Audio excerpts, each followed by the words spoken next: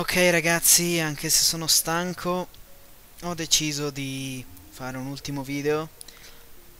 Uh, perché altrimenti nel prossimo, il prossimo sarebbe troppo, eh, come si dice, troppo pieno di, eh, di, di lettura di descrizioni dei tesori e così via, quindi Uh, finisco la giornata anche se è ancora presto. Oh, e c'è la musica vittoriosa. Credo.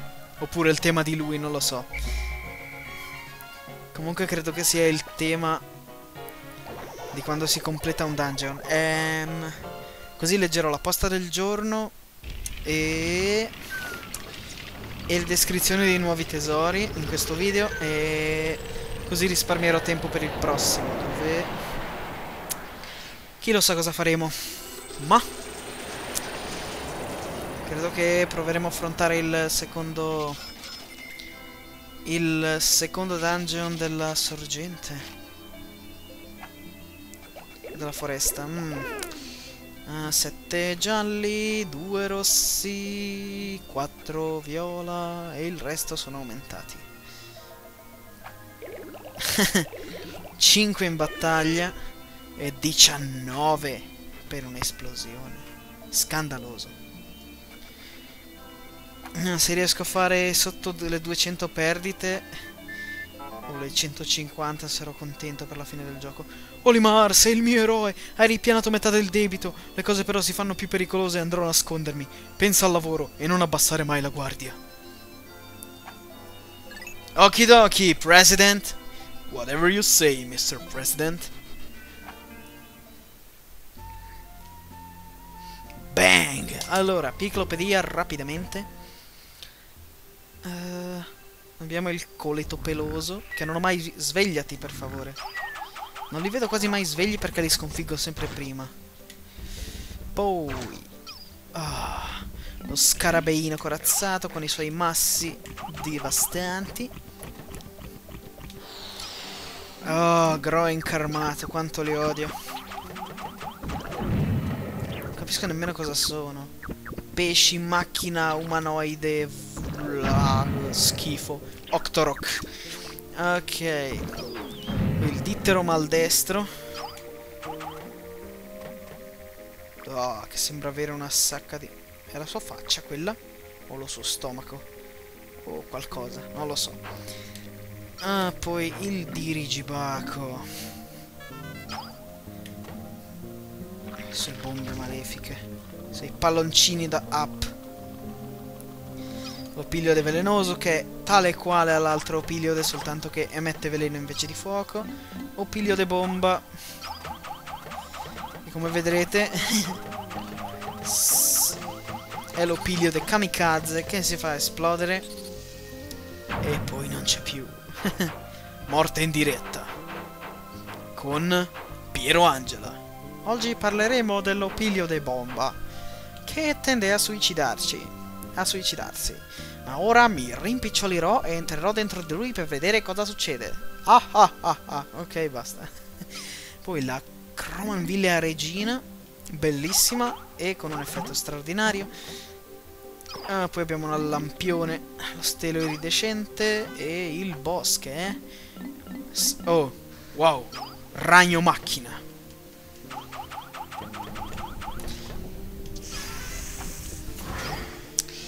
È essenzialmente un opiliode trasformato in macchina, ma da chi non lo so, Cribio. Magari in Pikmin 3 esploreranno un po' la questione, vorrei... Vorrei sapere chi crea queste cose. Magari c'è un, un essere simile a, a Olimare lui che crea queste cose. Ma... Eh, I tesori. Uff, sono un sacco. Allora, disco mistico.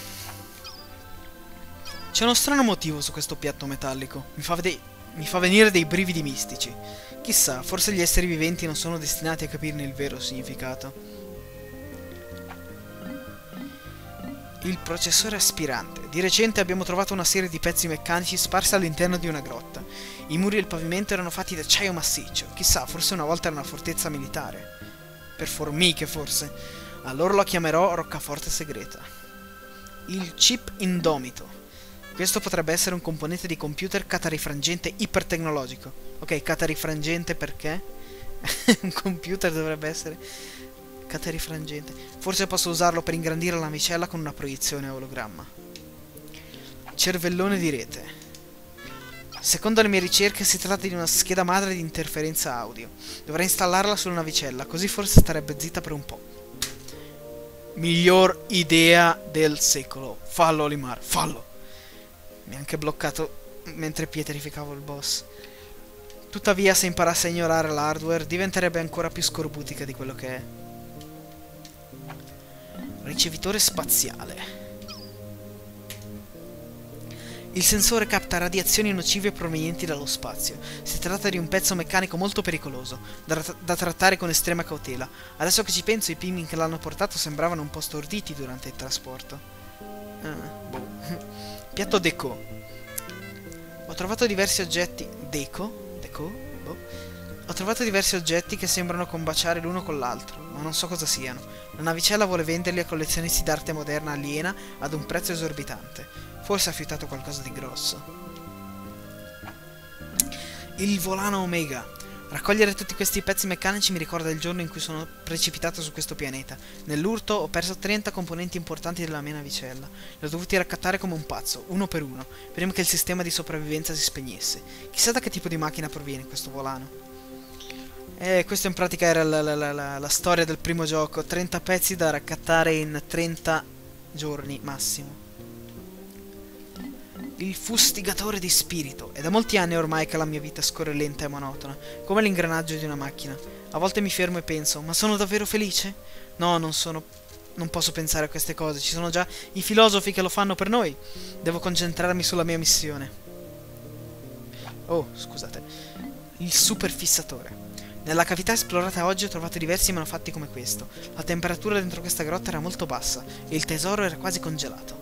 Mi dispiace per i pigmin che hanno dovuto trasportarlo. Alla fine le loro manine erano tutte intirizzite. LOL! Bestione fissa tutto. Questo oggetto deve essere stato creato molto tempo fa da un qualche marchingegno. Allora non c'erano i bei giocattoli che hanno i bambini, oggigiorno. Mio figlio è appassionato di videogiochi. Ehi, forse io sono suo figlio. Mentre io sono una schiappa. Mi prende sempre in giro, un attimo. Lui è giovane. Deve essere un mago coi videogiochi. Mi darà di sicuro delle ottime dritte. Ma Vero che i genitori non sono sempre, quasi mai dovrei dire, bravi nei videogiochi. Fascia massiccia. Sembra esserci un nesso tra i vari tesori che abbiamo trovato nella struttura sotterranea. Abbiamo trovato molti pezzi meccanici che corrispondono uno con l'altro. Potrebbero... potrebbero essere... Uh, questa la... potrebbe essere questa la chiave per scoprire la funzione originale di quest'area.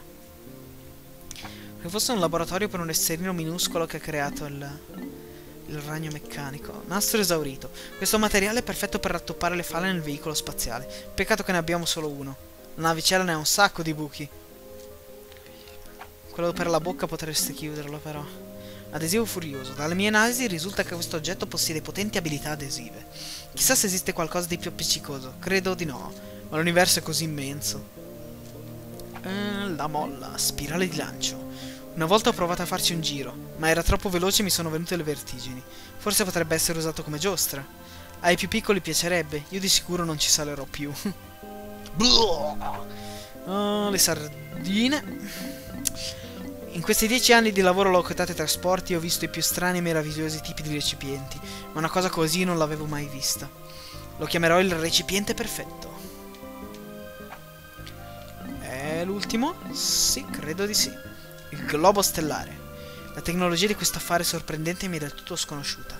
Assomiglia agli intensi raggi del sole. A forza di esplorare sono diventato bianco come un cencio.